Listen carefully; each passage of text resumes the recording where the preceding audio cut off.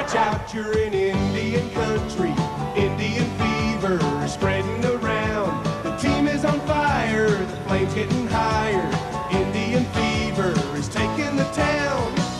Watch out, you're in Indian country. The tribe is alive and we're playing to win. The crowd's on its feet, creating the heat. Indian fever is starting again. Watch out when we're at the plate when we're on the field. We're playing to win and you'll leave here again, knowing the fever's for real. Watch out, you're in Indian country.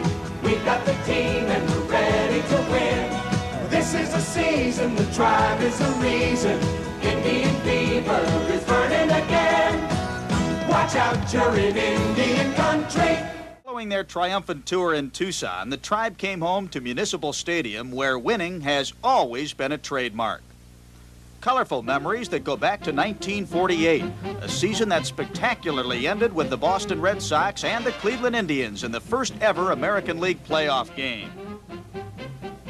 34,000 fans filled Fenway Park to watch as a single game would decide an entire season for the two teams.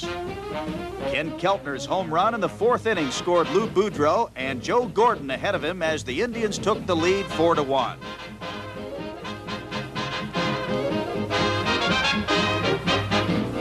In the fifth, shortstop Boudreau would hit his second home run of the day and 18th of the season. When combined with a tough pitching performance made by Indian hurler Gene Bearden, the Tribe went on to win this historic game 8-3 for the American League pennant and would go on to face the Boston Braves in the World Series. Cleveland Indians fans came out in record-setting numbers for games four and five as the Tribe went ahead in the series three games to two with a showdown in Boston for game six. With the game tied at one in the sixth inning, Joe Gordon homered into left field for a one-run Indian lead. Then it was again up to pitcher Gene Bearden, who got Tommy Holmes to fly out for the final out in the ninth, and the Cleveland Indians were the 1948 world champions, taking the series four games to two. This championship was a complete team victory for the players, as well as manager Boudreau and owner Bill Veeck. The American League pennant returned to Municipal Stadium on September 21, 1954, after the Indians won a record-breaking 111 games. To show their appreciation, the fans of Cleveland came out 250,000 strong, welcoming the team back after the pennant clincher in Detroit.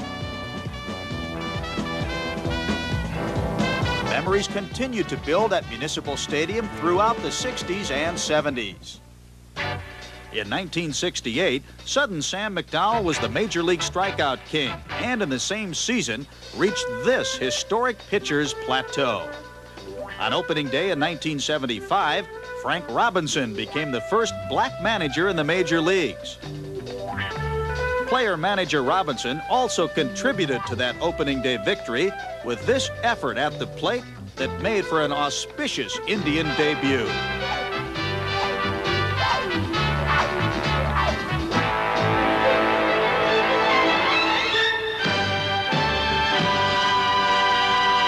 While encoring past performances at Municipal Stadium, the most recent and exciting was on May 15, 1981, as Len Barker pitched himself into the record books. Here's Herb Score with a final out. Len Barker getting the sign from Ron Hassey. Ernie Whitt stands in. Wind up, here it comes. Fly ball center field. Manning coming on, he's there. He catches it. Len Barker has pitched the no-hitter. A perfect game for Len Barker. And the stands erupt, the players go out. Len Barker being surrounded on the field. He has made baseball history here tonight. And from the perfect game to the All-Star game, just three months later, Len Barker's star would shine again as he masterfully retired all six batters he faced in front of the entire country and a sold-out Municipal Stadium. This was a time to be proud of the Indians and the great city of Cleveland. Barker's performance would remind baseball fans everywhere that past Cleveland teams always had their share of great pitching that could send up some fireworks of their own. Pitching greats like Satchel Paige, who was brought into the Cleveland organization by Bill Veeck. In 1948, Satch contributed his share and went 6 and 1 that World Series year. Mel Harder on the left, who pitched during the 30s and 40s. Mike Garcia, the big bear who hurled for the tribe in the 40s and 50s. Early Wynn, who became only the 14th major leaguer to win 300 games. Tough Bob Lemon, a seven-time 20-game winner. Or Herb Score, the Indians' left-handed ace in the 50s.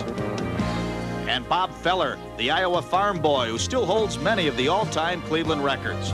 Rapid Robert's career accomplishments include 12 one-hitters and an opening day no-hitter against the White Sox in 1940. Bob was also the first American League pitcher to strike out 18 batters in a nine-inning game. It also had its share of outstanding hitting, like Al Rosen, here with the first of two home runs in the 1954 All-Star game played at Cleveland.